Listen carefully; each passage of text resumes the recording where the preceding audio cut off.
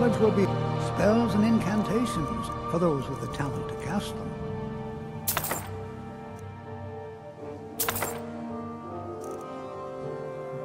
Take care now.